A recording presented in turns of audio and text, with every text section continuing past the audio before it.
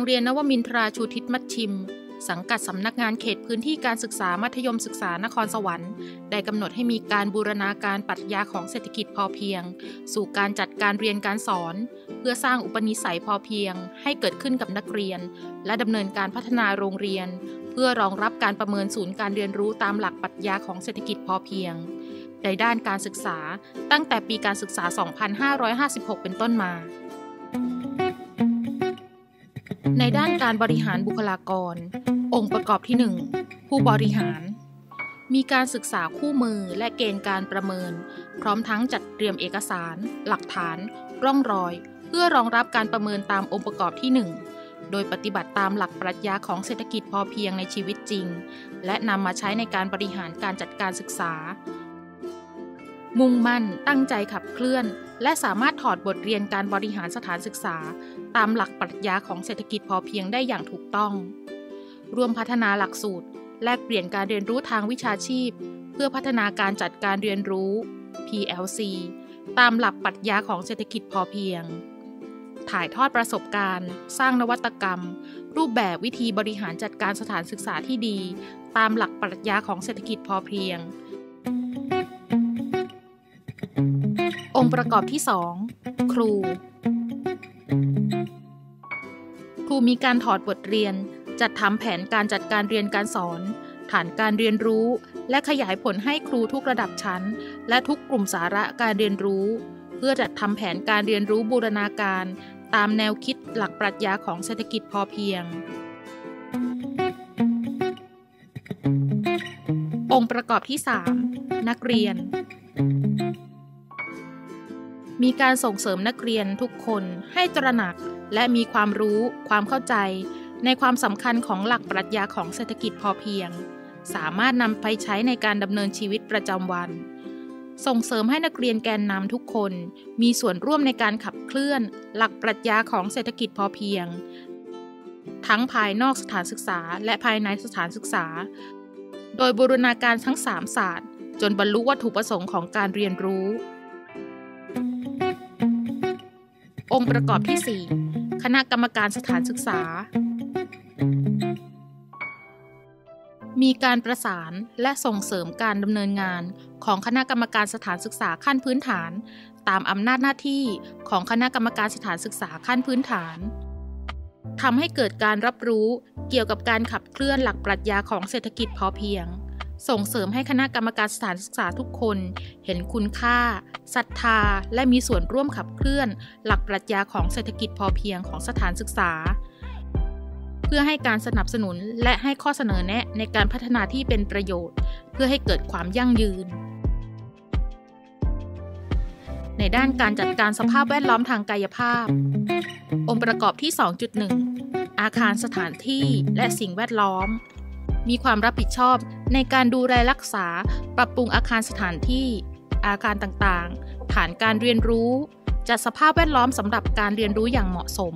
ให้มีความสะอาด ร่มรื่น ปลอดภัย และส่งเสริมให้ครูและนักเรียน มีส่วนร่วมในการดูแลรักษาสิ่งแวดล้อม อาคาร สถานที่ และฐานการเรียนรู้ให้เอื้อต่อการเรียนรู้ จัดบรรยากาศศูนย์การเรียนรู้ เพื่อเสริมสร้างอุปนิสัยอย่างพอเพียง และเสริมสร้างจิตสำนึกที่ดี มีแผนผังแหล่งเรียนรู้ ฐานการเรียนรู้ที่มีความถูกต้อง สื่อความหมายได้ชัดเจนและเข้าใจ ส่งเสริมให้ชุมชน องค์กร ภาคีเครือข่าย หรือหน่วยงานอื่น ๆได้ใช้ประโยชน์แหล่งเรียนรู้ ฐานการเรียนรู้ และส่งเสริมให้มีความเข้าใจในการดูแลรักษา และมีส่วนร่วมในการพัฒนาอาคารสถานที่ องค์ประกอบที่ 2.2 แหล่งเรียนรู้ ฐานการเรียนรู้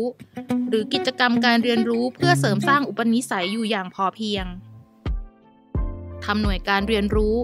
และแผนบูรณาการฐานการเรียนรู้ตามหลักปรัชญาของเศรษฐกิจพอเพียง และจัดทำฐานการเรียนรู้ตามหลักปรัชญาของเศรษฐกิจพอเพียง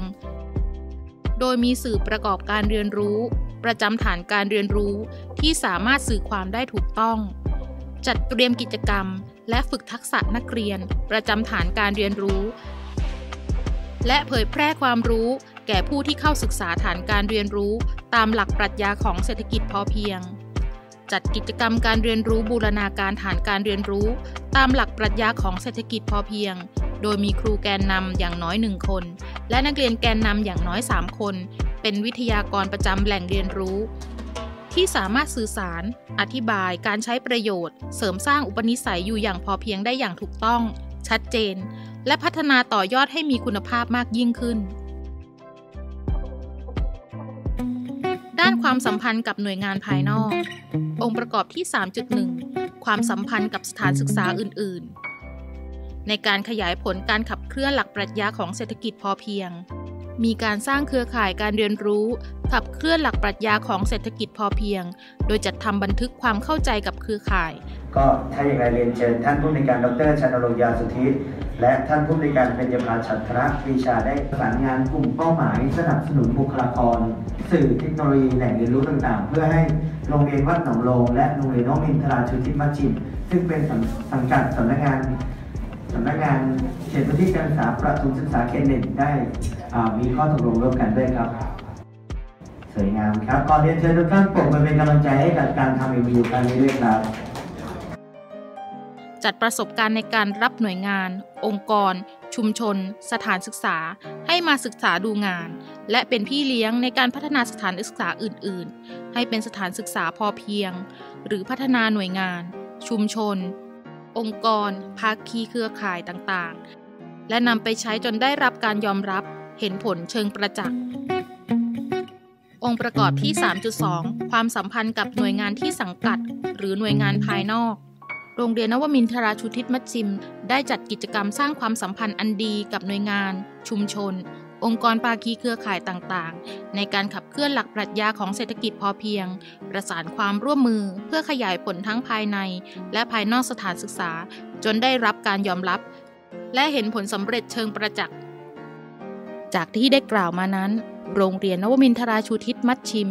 ยังคงน้อมนำหลักปรัชญาของเศรษฐกิจพอเพียง สู่การจัดการเรียนการสอน โดยดำเนินการจากรุ่นสู่รุ่น